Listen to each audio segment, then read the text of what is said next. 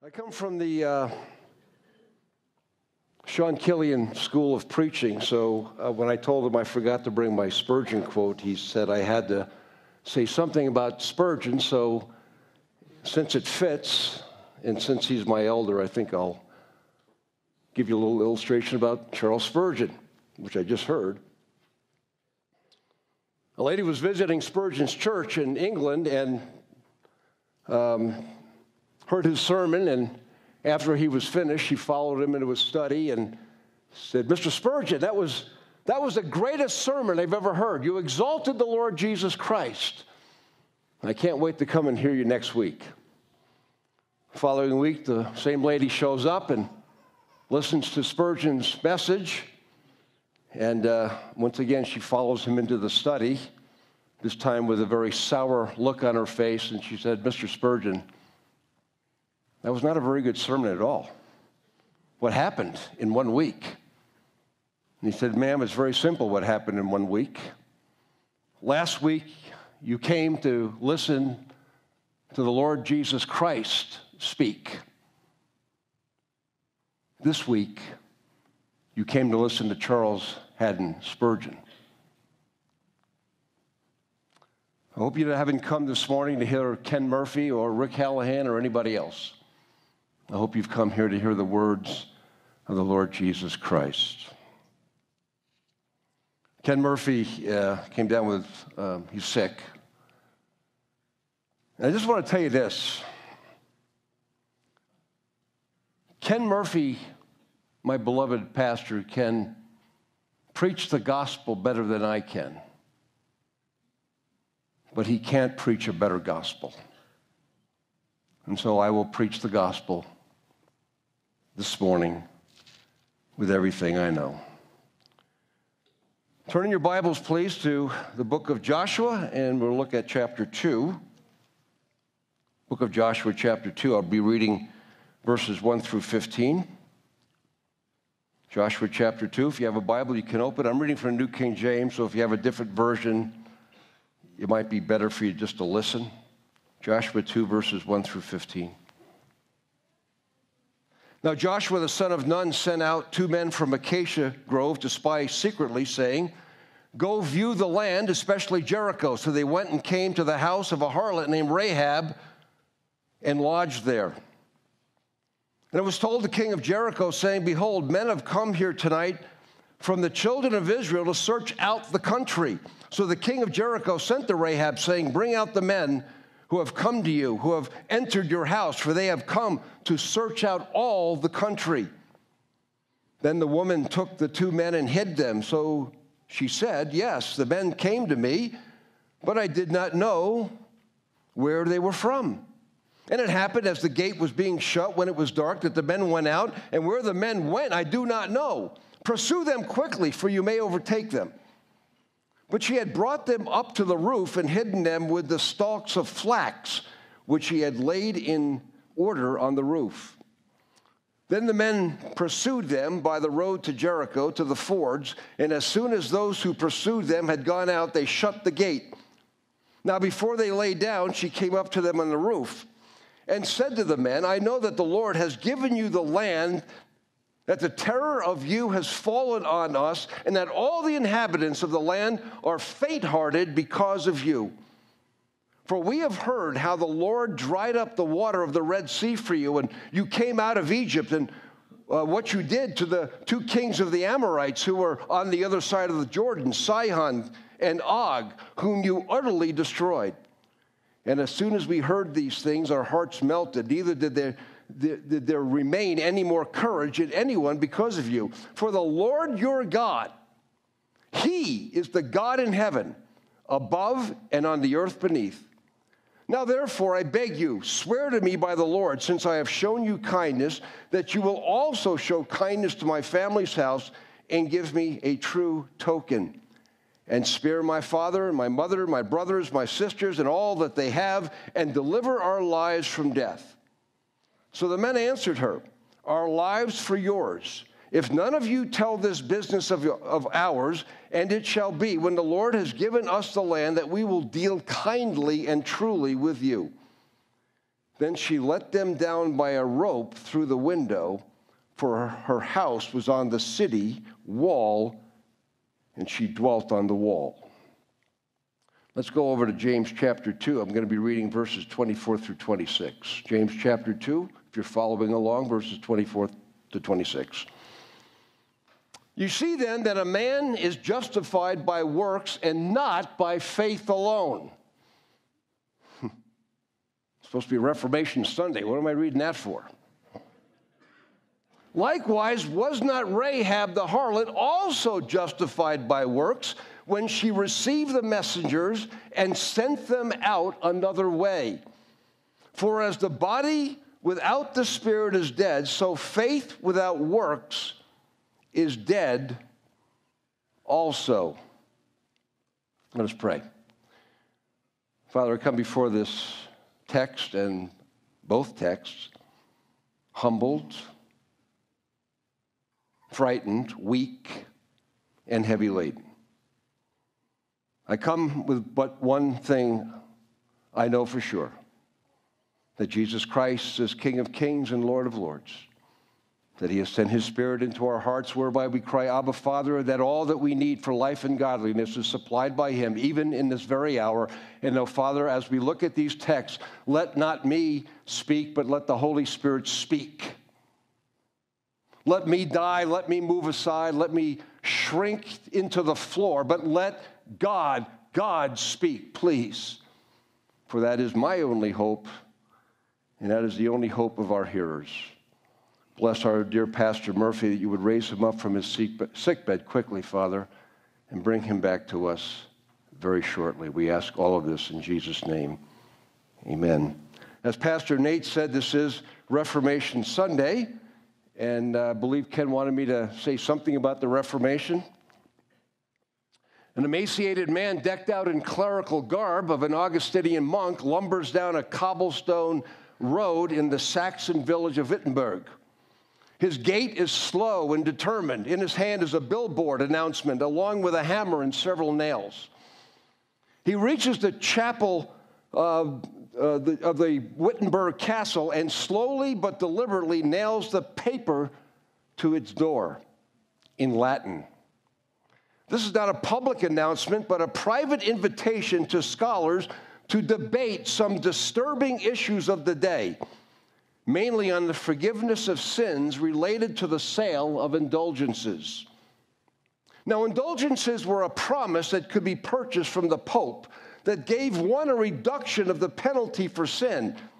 Indulgences had both an inward aspect, that is, the buyer must show an inward penitence, and an external aspect, which was the actual purchase of the indulgence and a receipt for the certificate.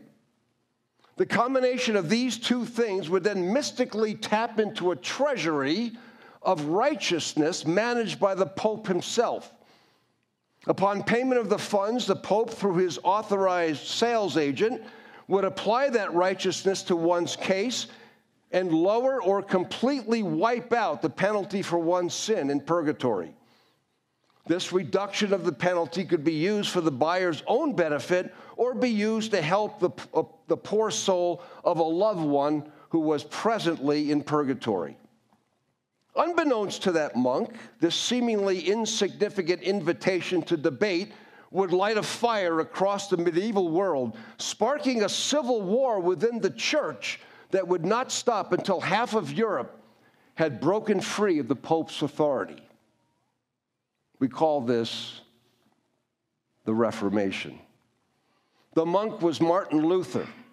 The date of the posting of this invitation is this very date, October 31st, the year 1517, 504 years ago. And the ramifications of this announcement posted on the castle door continue to this day. Now, many think that Luther was arguing for the doctrine of justification by faith alone. That is, a sinner is saved solely by an act of faith in the finished work of Jesus Christ on the cross. This is entirely incorrect. At this time in his life, Luther had not yet come to this conviction. It'd be another three to four years before he would. No, at this time of his life, Luther was upset at one thing that a person could be forgiven for their sins without any show of good works. Luther, a pastor himself, had seen many of his congregants buying an indulgence and then resting in the vain hope that this piece of paper that they were holding in their hand could get them to heaven. They could live however they wanted, but so long as they had that paper, they were saved. This angered the monk, who himself had been so sensitive to sin that he had spent days and months trying to atone for his sin through what he thought were good works self flagellation, denial of food and drink, and hours and hours of confession of his sins. It was this mockery that. Um, that Luther saw and thus posted those 95 theses. As the Reformation moved forward, Luther, now thrust in the midst of a titanic battle, began to understand two things. First, that salvation came by faith alone through the grace of God alone, what we all know and love. We call that sola fide. It was the hallmark of the Reformation. But there was a second corrective of the Reformation that was just as important the place of good works in the life of the believer. What many of us don't realize is that it was this second aspect that really brought Luther into the fray. Let us read several of these propositions. Proposition number three the Word of God does not teach solely an inter, inner repentance. Such repentance is worthless unless it produces various outward mortifications of the flesh. That's his way of saying works. Thesis 45. A person who, um, who passes by a beggar but buys an indulgence will gain the anger and disappointment of God. In other words, buying an indulgence means nothing, it's helping the beggar that Luther was going after. As a matter of fact, nothing in the 95 Theses talk about faith alone at all. When Luther was, what Luther was concerned about was a salvation that displayed no change in life whatsoever. We often forget that this was Luther's primary issue with the church. At the end of the day, the Reformation produced one thing for which we can all be eternally grateful. It did not invent any new parts or any new doctrines, nor did it come up with a new and exciting way of being saved. What it did was to adjust the doctrines that the Roman church already had believed in by putting them in their proper context. It's the relationship of doctrine to doctrine that the Reformation was going for. The church believed in grace. The church believed that Jesus Christ died on the cross for sinners. The church even believed in faith. The church believed in good works. That wasn't the problem. The problem was how they were putting these doctrines together. And it was so muddled and so mixed up that nobody ever knew at all how one could possibly be saved. One thing more need to be said about Martin Luther. He was far from perfect. He had many foibles and bad habits and sins. We, we follow not this man we follow his understanding of the Word of God to the extent that he understood it correctly. One place where Luther was clearly wrong was that it is an opinion of the book of James. He did not cut it out of the list of sacred books, but he did set it off to the side as an epistle of straw. By saying James was an epistle of straw, um, he was not saying it was wrong or that it didn't belong in the Bible. He was merely saying that it had a value equal to that of straw, which we know has very few noble usages. Luther's problem with James was that it seemed to contradict the logical argumentation of Paul, whom Luther loved, about the way of salvation. Because of Luther's opinion, many opponents of the Reformation have used Luther's obvious dissatisfaction with James to say the Reformation was a fraud. What could come of a movement that didn't appeal to every part of the Bible? So people have often used James and said, well, the Reformation is not true because even Luther thought that James was a little bit screwy, so maybe the whole thing really doesn't make any sense anyway. Maybe we're just worshiping a man or a movement, but really not what the Bible teaches. This morning, I wish to show that the Reformation was the complete package. By going right into the heart of the enemy's territory, that is the book of James, and preaching the Reformation from the book of James. I do this according to the adage we kill error with its own weapon. We shall do this by looking at the life of Rahab, which we found discussed already in James chapter 2 we find that in the life of Rahab, the entire full teaching of the Reformation, and we believe that the book of James teaches it all. Don't throw James out of your Bible. So much more than appearing to be contrary to the Reformation, James actually furthers the Reformation, actually fills out the Reformation, actually is a capstone to all that the Apostle Paul said. Two points is all we've got this morning. First, Rahab the harlot was saved by faith and faith alone. Secondly, Rahab's faith was vindicated by works alone. First of all, then, Rahab the harlot was saved by faith and faith alone. Let's go back to the second chapter of Joshua, or you can just listen. What is it that caused Rahab to receive those spies, those Jewish spies that were looking to cross over the river and to conquer the promised land? What, what caused her to accept them? Well, I think it's found in verse 10, where Rahab, they, uh, you know, I mean, you know the story, and I'm not going to get too explicit here, but the two men uh, go into Jericho at night and they go into a, a harlot's apartment. Now, what better place to hide than that, right? Nobody's going to look for you there, at least I hope not. So they sneak into her apartment, not knowing the providence of God, and that this was in God's eternal decree. And they start conversing with her, and all of a sudden they, they find out that she really wants to be on their side. And she says in verse 10, For we have heard how the Lord dried up the water of the Red Sea for you and when you came out of Egypt and what you did to the two kings of the Amorites. What's the first thing that Rahab did? Good works? Not a chance. She heard about God. Not only did she hear about God, she heard about the works of God. She heard about the leading of Yahweh with the Israelites over or through the Red Sea and the conquest of all these kings. She had heard all the stories about this great God of the Jews who performed miracle upon miracle in the wilderness.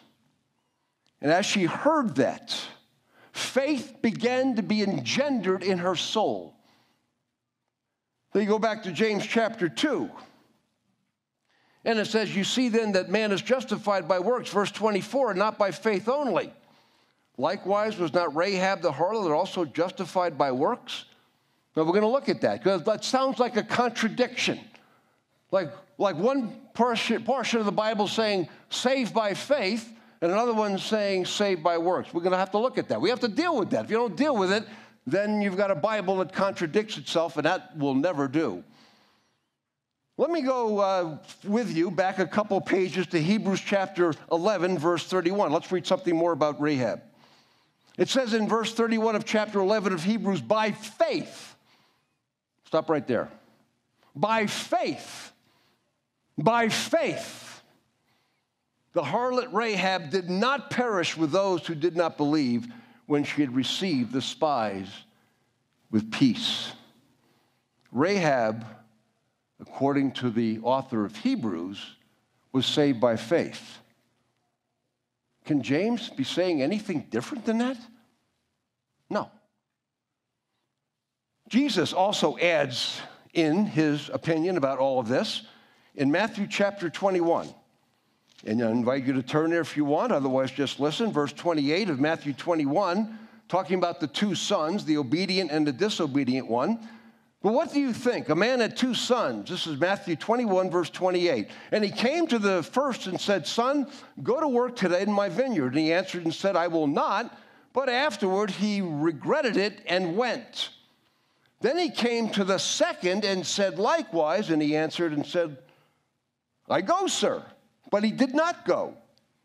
Which of the two did the will of his father? And they said to him, The first. And Jesus said to them, Assuredly I say to you, now here, here's what I want to get at that tax collectors and harlots enter the kingdom of God before you. Perhaps he had Rahab in mind, certainly the woman that washed his feet, perhaps. Now, notice what he says in verse 32 For John came to you in the way of righteousness, and you did not believe him. But tax collectors and harlots, what? Believed him. And when you saw it, you did not afterward relent and believe him. So, what Jesus is saying is that tax collectors and harlots come into the kingdom of heaven not by anything they've done, but by what they've believed, right from the words of Jesus Christ. Rahab's the harlot. Jesus is talking about tax collectors and harlots. He says they get saved by one way and one way only. They believe the word of God. We just proved that Rahab heard the word of God. Hebrews says by faith, Rahab did what she did. By faith, by faith, by faith. What kind of faith was it that Rahab had? We're going to look at that briefly. This is still under the first heading of Rahab the harlot was saved by faith and faith alone. First of all, her faith was a faith in, in something that could not be seen. Rational, yes, but not sensually provable. For faith is the substance of things hoped for, the evidence of things not seen. She has a faith like we have. Anybody here ever seen Jesus? I hope not. Not in the body. Anybody here ever seen him dying on a cross? I doubt it. I'm not that old. Why do you believe? You believe on the testimony of the Bible. Can anybody prove it? No. Is it, is it irrational? Absolutely not. It's very rational. We have a rational faith. She had heard about the coming of the Israelites through the wilderness. She heard about things that were true. She didn't see them, but she believed them. You, you, you believe in Jesus, but you don't see him. And it's that belief of the things not seen that saves you. And it saved Rahab. So it was a faith that could not be seen, but was real. Secondly, it was an assured faith. Look at verse 9 of Joshua 2 if you're still there. And she said to the men, I know that the Lord has given you the land, that the terror of you has fallen on us. She says, I know. Well, how could she know? She knows because faith is a gift of God that gives you assurance of what you believe. Yes, it's a mystery. Nobody can prove the things that we believe. But we know beyond a shadow of a doubt of the things that we do believe about Jesus Christ, about the Bible, and about salvation by grace alone, through faith alone. You see, everybody's faith in this room who's saved has a faith that's assured. Now, let me, let me back up a second and say that does not mean that everybody has a full assurance of faith. We all have times when we struggle with our faith. I do and you do. But everybody in this room that truly believes is assured of the things spoken of in the Word and in the words of Jesus Christ. She knew that, that the, uh, the God of the Israelites had done all the things that she had heard. She just knew it. Why didn't anybody else in the city of Jericho know it? I don't know. They didn't have the gift of faith, but she did. She was assured. She had an assured faith. And thirdly, she had a very weak and somewhat ignorant faith. I want you to notice in verse 4, and this, this, this I hope will comfort you. A lot of people in here, myself included, that have a checkered faith. It's at times very weak, very mixed, very modeled, very inconsistent. Look at what she does. Verse 4 Then the woman took the two men and hid them. And so she said, Yes, the men came to me, but I did not know where they were from. She lies. There have been a whole lot of pages spent on trying to figure out well, how could Rahab lie and still be a believer. Let's just forget that. What the Bible's trying to tell you is that she had a faith, but it wasn't a pure faith. It was a weak faith. Have you ever had a faith that lied? I have. You have. Does that mean you're not saved? No, it means your faith is weak. It's strengthening each and every day, I trust. And then the day Christ takes you home, it will be perfectly full. Not only was it a weak faith because she didn't understand some of the moral precepts, but it was a weak faith because she was in a bartering mode of thinking with God. Look at verse 12. Now, therefore, I beg you, swear to me by the Lord, since I have shown you kindness, that you may also show kindness to my father's house and give me a true token. You see, how, how could someone be saved that believes that, uh, you know, you, God shows uh, me kindness and therefore I must uh, show God kindness, or I show God kindness and he shows me kindness. That's a, a tit for tat kind of faith. We would all agree that's not the kind of faith we should have. But that was the kind of faith that she had. She didn't understand purely or fully. She's trying to barter with the spies. Interesting, I learned this week about the prodigal son, something I'd never seen prodigal son is eating pig slop. Finally says, I will arise and go to my father, Luke 18, 13. Or 15 something, whatever, not 18. And he goes and starts coming back to the father. And on the way back to the father, what's, what's the son saying? Well, I'll barter with my dad a little bit. I'll be willing to become a slave and just work kind of like in the, in, the, in the barn or pitch hay or milk the cows. I'll do something really menial. I'll, I'll, I'll, uh, I'll try to get the Father's goodwill by doing something for him. That's not a pure faith, beloved. And I notice in the story that the father looks, runs to the son, sees the son over the hillside, uh, runs to him, mentions nothing about the agreement that the father that the son wanted to give him simply loves the son gives him the robe puts the ring on slays the fatted calf and says the one that was lost is now found. But you know something? We do the same thing. Come on we do it we barter with God. God, I had a good day today, you're going to do something good for me. God, I had a bad day today, you're going to punish me. You see, our faith is checkered, it's not pure. So don't let, don't let Rahab's faith bother you. It's the faith that we all have. Faith is not pure, never will be this side of heaven. Assured, yes, pure, no. And so she had a faith on something that could not be seen. It was an assured faith. She knew that what, what she was hearing about Yahweh was true, and it was a faith that was weak and somewhat ignorant. Now, that doesn't answer the question of James. That just simply says that it seems that the preponderance of evidence in the Bible is that Rahab was saved, as we are, by faith and faith alone. I gave you the text.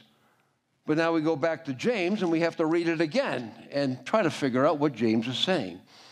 You see then that a man is justified by works and not by faith only. Wait a minute, that's not what I just said. Likewise, was not Rahab the harlot also justified by works when she received the messengers and sent them out another way? What's going on here? Well, I think there's several things going on here, but, but for uh, in the, in the uh, goodwill of time, let me try to cut right to the chase. First of all, we got to think about this word justification. Now, most of us have always heard, going through Romans and so on, Galatians, we always think of justification as a declaration of righteousness. And it is. But it also has another meaning. Very similar, but just a couple degrees to the right. It can also mean vindication. Justification is a declaration from the court, a legal term that you are innocent. Got nothing to do with your works, just a declaration from God. Vindication means that the declaration that you have is evidenced by something people can see. In other words, faith is vindicated, not justified, vindicated by works. You say, well, where do you get that from? Let's go back again to the words of Jesus, who uses that word, by the way. Matthew chapter 11, and then we'll look at Matthew chapter 12, and I could have gone to several other texts, but again, for interest of time, we, we have to move along. Matthew chapter 11, verse 19. I want you to get this. This is really important. If you see James talking about faith being a vindication, not a declaration, you got it.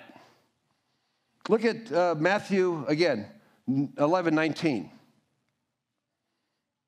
The Son of Man came eating and drinking, and they say, Look, a glutton and a wine bibber, a friend of tax collectors and sinners.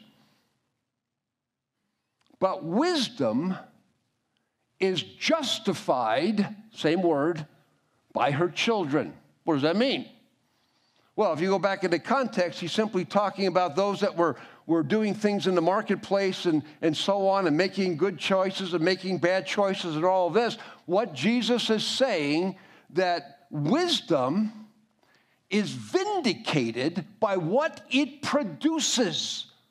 Wisdom does not need to be declared righteous. It doesn't mean that. If you stick that in the text, it is nonsensical.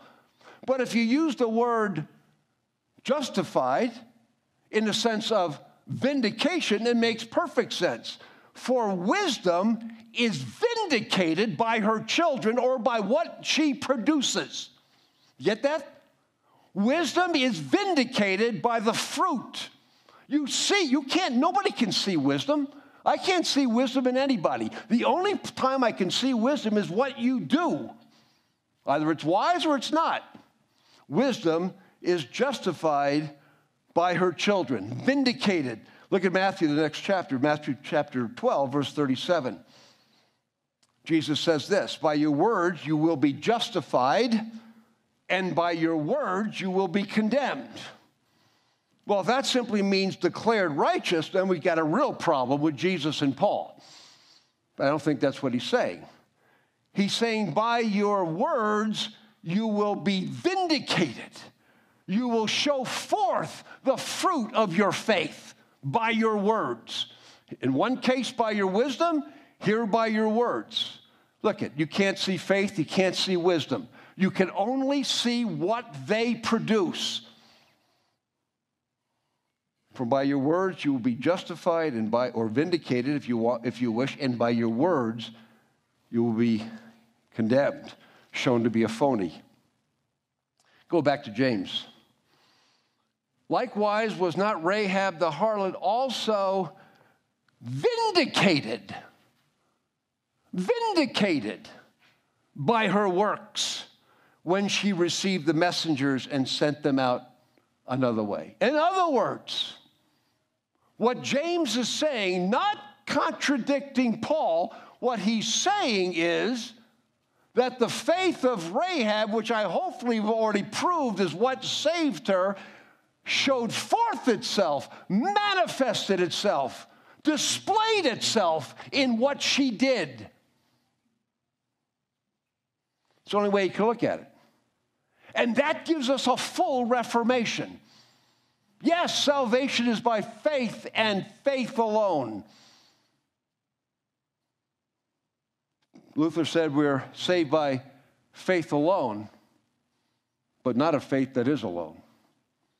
Even Luther agrees with the book of James, even though he was afraid to admit it. And so we find out that Rahab was saved by faith.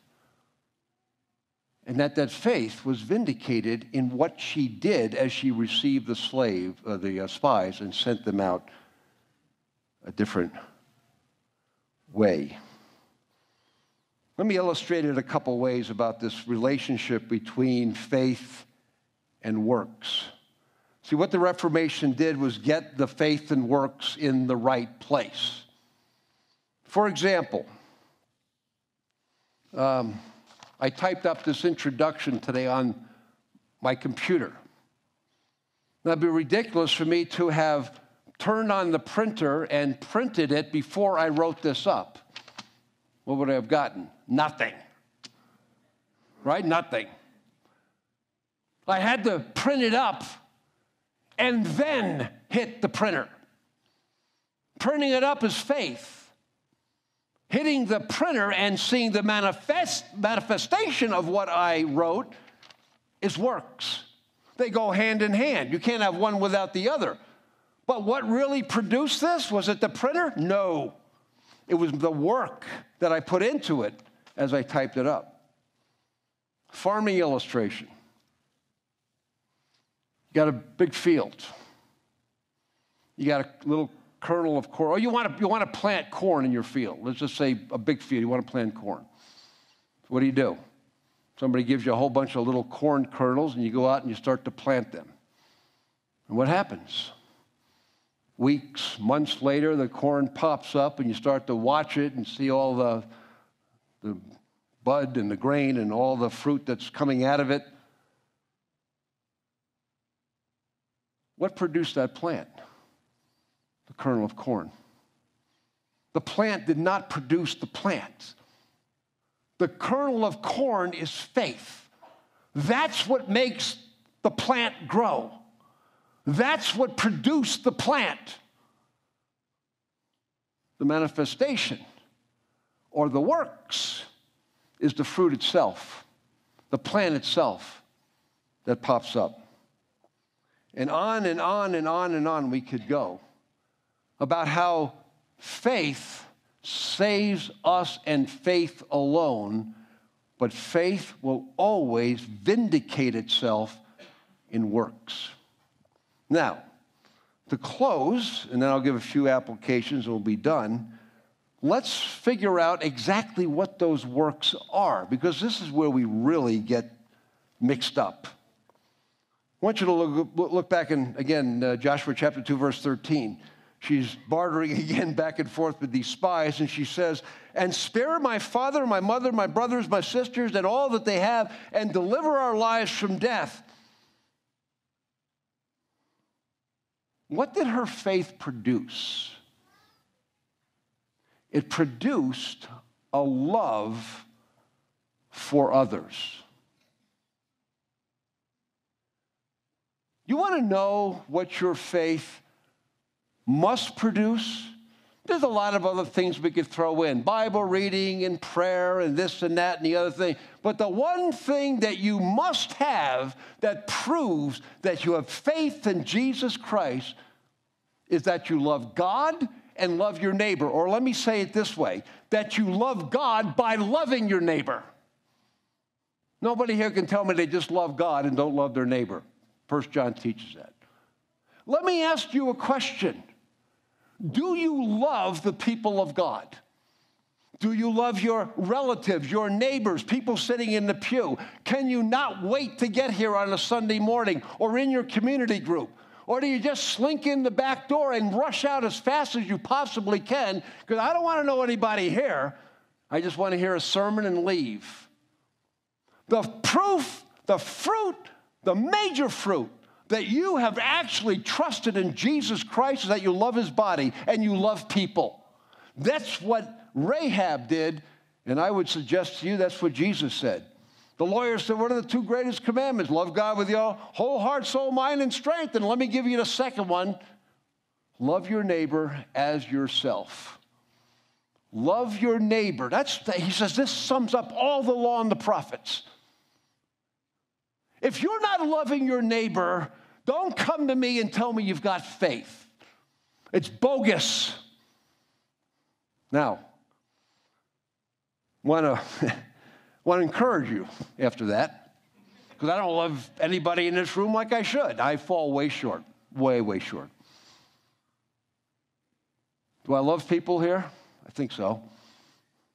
Not perfect, not even close to being perfect.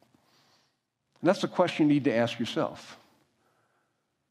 So let me apply this about Rahab. I find it really, really comforting that the James shows the two great illustrations of a saved person being Abraham, first of all. And we know he's the father of faith. He was saved by faith. And everybody says, oh, Abraham, what a great guy he was, right? Father of the Jews, father of faith, this, that, and the other thing. And Rahab, a heathen harlot. We have some heathen harlots in the church right now. We have people that are coming in from non Christian backgrounds, have been in drugs, pornography, you name it, and are being saved. This is the most wonderful thing that could possibly happen. You see, Rahab gives us hope that anybody that slinks in the back door and hears the gospel can be saved. Rahab proves that to us. She had no Christian background. She had no Christian upbringing. She didn't know the Bible. She knew nothing. But she heard about God by the preaching of what God had done. And she believed. Have you come in this morning that way? Maybe you're sitting in the back, you can't wait to leave, but you've heard the gospel. I want to tell you this morning, whoever you might be, that if you simply trust in Jesus Christ, I don't care what your background is, I don't care what sins you're involved with at the present time, that you believe in Jesus Christ and Him alone, He will save you on the spot. You believe that Jesus died on the cross for your sins. You have no hope in and of yourself to fix yourself, to be who you should have been you believe Christ is your Savior, He'll save you. That's the first thing. Second thing, never let us as a church snuff out the flickering faith of young and imperfect faiths. You've never flickered mine out, and it's young and imperfect, and I pray that I will do the same for you. One thing the young disciples have taught me, and much more than I've ever taught them, was to understand where they're at and stop being arrogant and expecting them to be way like into the college of faith or the master's program or the doctorate of faith. Take people where they are. When you see the flicker of faith, don't snuff it out, inflame it, fan it, help it along. Please do that. So many times we want to say, oh, that person can't be saved. They're doing that, or they said this, or this attitude, or that, or whatever. Let us stop doing that. If someone truly believes in Jesus Christ, we got some new believers here. Help them along, please. And I need to do the same thing. And let us never forget, thirdly, that love for our neighbor is the great indicator of faith. Not intellectualism, not memorization, not prayer, not Bible reading. Do I, do I sound heretical enough yet? Loving your neighbor. All the other stuff is good. Do it. But loving people. Do you want to be here? Do you want to love the guy next door, the workmate, the lady at King Soopers, the irritating relative. Oh, it's so hard.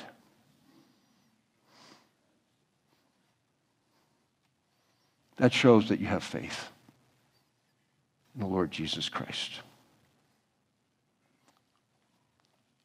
A man is, comes into a courtroom and shackles. Heads down. He's committed crimes. He feels awful. As he walks into that courtroom, he hears the hoots and the hollers and the, and the ridicules of the, the crowd in the courtroom. And he can't even look at the judge, and the judge says, um, looks at the, uh, the dossier there, and he says, uh, Mr. So and so, I know you've committed all these crimes, but this, this is amazing. Somebody has already paid your entire debt. You're innocent. Take off the shackles. What do you think that man's going to do when the shackles are taken off? Think he's going to stand there like this? That'd be stupid. He's been in shackles for all these months, maybe years, and finally the shackles are taken off. What's he going to do? He's going to start to dance. He's going to, he's going to move his limbs. He's going to run around the courtroom and say, I'm free. I'm free. You see, faith, the declaration of the judge, is justification by faith. The taking off the shackles, which always leads to doing something, is the works. And you get them in the right order, and you've got the full gospel. It's both and. Saved by faith alone. We're also vindicated. That faith is also vindicated by the works that we do. May you have both in your life. Trust in Jesus Christ. And now that you're free, you will labor for Him for all the days of your life. Let us pray. Father, thank you. God, I don't know why I'm saved. I have no idea why I'm standing up here, except you've taken off the shackles of a a rotten sinner, now made free by your sovereign grace. And many sitting here today, this morning in this church, are the same. They've been freed, and now they can dance. They've been declared righteous, and now they can show forth that righteousness by working for you. Oh Lord Jesus. Help this church to love both these great truths the Pauline doctrine of justification by faith alone, and the, and the doctrine of James that that faith will always produce works for the Lord Jesus Christ. We love you, we thank you, and we praise you in Jesus' name.